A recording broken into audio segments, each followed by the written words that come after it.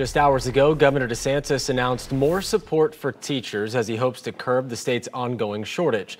The governor said this year he wants an additional $200 million to go towards increasing teacher salaries. With that proposal and getting that into the budget and hopefully being able to make that law, we will have invested more than $3 billion in increased teacher salaries since the year 2020. And that's never been done in this state's history at that level before.